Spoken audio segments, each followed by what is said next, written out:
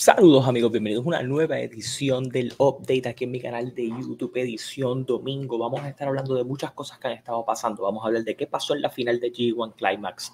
Vamos a hablar de qué pasó en Triple Manía 32 en Ciudad de México.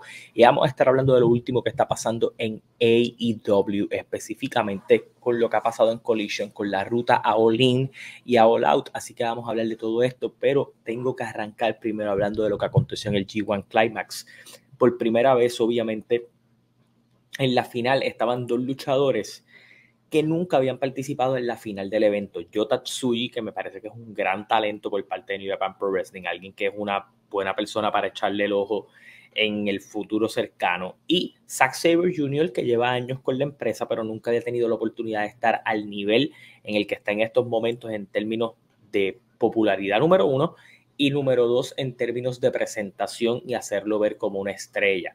Ya nosotros sabíamos que había como más interés en trabajarlo de esa manera desde la victoria de él sobre Orange Cassidy en Forbidden Door en AEW y se lleva la victoria en una gran lucha en la final del G1 Climax. Esto le garantiza una oportunidad por el campeonato mundial en el evento Wrestle Kingdom en enero, el evento más grande de New Japan Pro Wrestling, pero Zack Sabre Jr. hizo un cambio o bueno, una proposición diferente. Él quiere retar a Tetsuya Naito, actual campeón IWGP, que considero que fue un error darle el campeonato y voy a explicar por qué. Eh, para el mes de octubre. ¿Por qué? Porque eso le daría tiempo a él de ganar el campeonato y llegar como campeón a Royal Quest, que es el evento en conjunto que hace Ref Pro y New Japan Pro Wrestling en Inglaterra y él quiere llegar como campeón y hacer su primera defensa en Royal Quest, que es el evento que sería en su natal.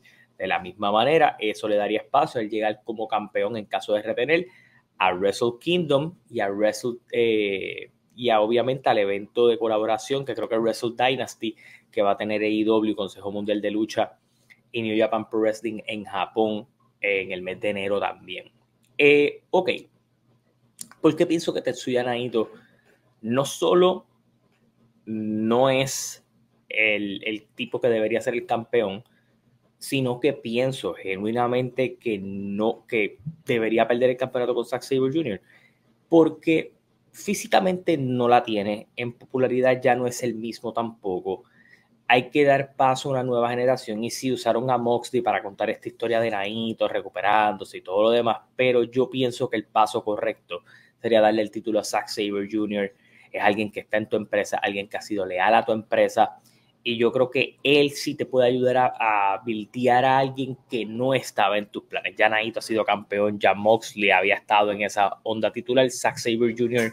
no tanto. Así que ojalá aprovechen y, le den la oportunidad a él, que haya ganado el G1 Climax y que haya sido el, el segundo luchador no japonés en ganarlo, pues representa que hay algún tipo de interés en trabajarlo de una buena manera. Ahora, vamos a hablar un poquito de lo que fue Triple Manía 32. Yo tuve la oportunidad de ver el evento completo. Eh, yo también he tenido la oportunidad de recientemente ver lo que está haciendo el Consejo Mundial de Lucha y, obviamente ambas cosas son bien separadas. La AAA es más basada en el espectáculo, eh, el show, las leyendas, tal vez las historias. Aunque tengo que destacar que me gustó mucho ver a luchadores que tuvieron su época en WWE y que también hicieron una gran campaña en México en, algún momento de su carrera, como Kenzo Suzuki y. Mark Jindra es conocido como Marco Corleone, alguien que se suponía que fuera el miembro original de Evolution.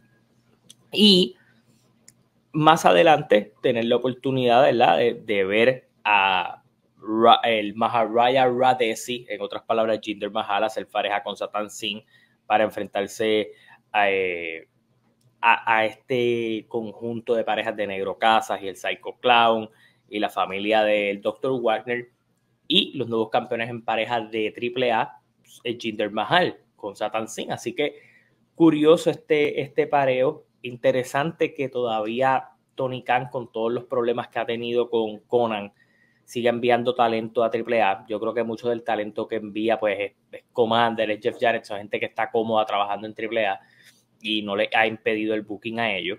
Eh, pero Eh, ya vimos a Jinder Mahal ganar esos campeonatos en pareja. También vimos en la lucha por el campeonato crucero Matt Riddle contra Commander contra Laredo Kid. Buena lucha, de las mejorcitas de la noche, por decirlo así. Matt Riddle, nuevo campeón crucero de la AAA.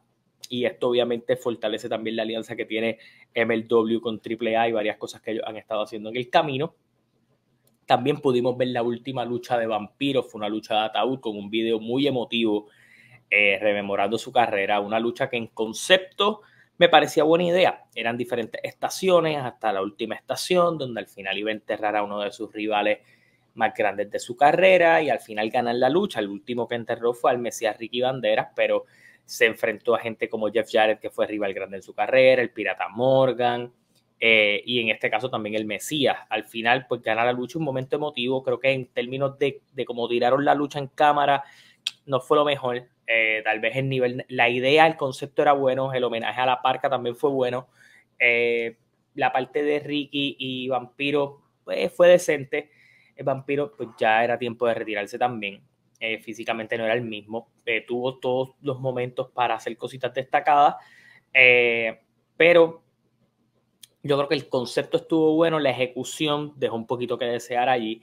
Tuvimos también la lucha de Alberto y Nick Nemeth. Eh, esta lucha tenía consecuencias. Aquí hay dos cosas. En Triple Manía, lo loco de esto es que había dos consecuencias para shows en Puerto Rico. Riddle llegando como campeón al show del 31 con IWA y la lucha de Nick Nemeth y Alberto era para saber quién llegaba como mega campeón a Puerto Rico cuando ellos tienen una revancha en Puerto Rico este próximo 31. Eh, Alberto se corona el nuevo mega campeón de AAA eh, el final no me encantó, eh, pero funcionaba para contar la narrativa de Latin Lover diciéndole que pues él esperaba que ganara en el medio del ring, no con un foul, vimos a Alberto faltarle el respeto, Alberto lo ataca, llega Conan, llega Dorian y están del lado de Alberto del Río y de Conan y técnicamente pues no aplauden las políticas de Latin Lover. Si son inteligentes pueden utilizar también el conflicto que ha habido con el luchador independiente que trajo Latin Lover a participar en verano de escándalos freseros, que al parecer quedó fuera de la empresa tras solo un evento, que pudieran utilizar eso de, gasolina, pero hay algo que tengo que decir, y yo sé que mucha gente lo va a criticar, yo voy a decir una cosa buena y una cosa mala. Triple A siempre se ha basado en estas historias de traiciones, campeones que están presentes en los últimos años. Hemos visto que los mega campeones que han estado no han estado del todo presentes. Eh, el hijo del vikingo estuvo, está lastimado ahora mismo, eventualmente regresará. Kenny Omega estuvo mucho tiempo el campeonato, no estuvo tan activo. Rey Fénix tuvo el campeonato, no estuvo tan activo por obviamente contratos que tenían con otras empresas.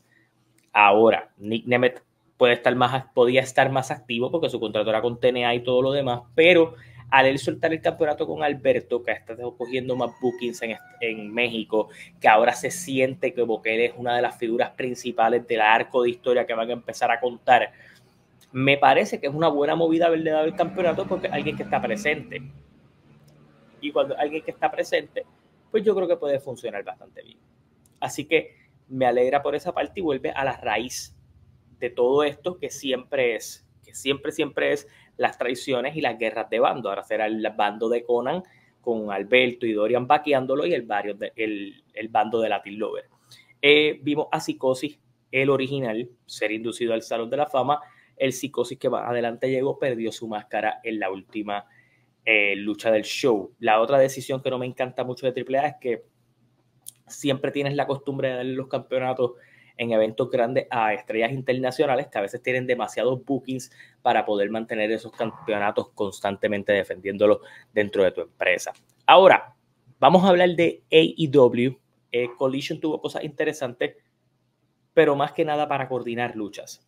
¿Qué tenemos para All In y para All Out? All Out, Willow Nightingale, Crystal Lander, campeonato del Consejo Mundial de Lucha en All Out, septiembre 7, directamente eh, desde Chicago, si mi memoria no me falla. Y de la misma manera, también tras lo que pasó en la lucha de FTR y The Acclaim, que acabó en empate, los John Box defienden ante The Acclaim y FTR en All In en Wembley. También Christopher Daniels anunció que va a haber una lucha de cuatro tríos en escalera para, para, los, para que The Patrick y Christian Cage, Nick Wayne y Killswitch defiendan los títulos de tríos ante el House of Black ante el Bam Bam Gang y a tu equipo por determinar este próximo miércoles. De la misma manera, Claudio mantiene movimiento para su lucha con Okada en Cardiff. Vimos a Hologram tener otra victoria chévere en el show. Eh, el feudo de Britt Baker y Mercedes Monet se sigue calentando. Jack Perry presentó una nueva versión del campeonato de TNT y Sammy Guevara y Dustin Rhodes son los nuevos campeones mundiales en pareja de Ring of Honor tras derrotar al Undisputed Kingdom y ahora son esos campeones. De hay que recordar que Dustin Rhodes también es el campeón de trío de Ring of Honor. Así que varias cositas pasando en ruta All en ruta a All Out. Ya la semana que viene nos volveremos a ir en vivo el miércoles con esa edición especial de lo que va a ser Dynamite. Al igual, gracias por el apoyo de ustedes ahí a todo el contenido. Dale like, deja tu comentario, suscríbete. Y los veo, para los que son fans de Puerto Rico, va a haber también como un tipo de update de lucha libre de Puerto Rico hoy. Así que hasta la próxima, se cuidan, nos vemos, gracias por el apoyo.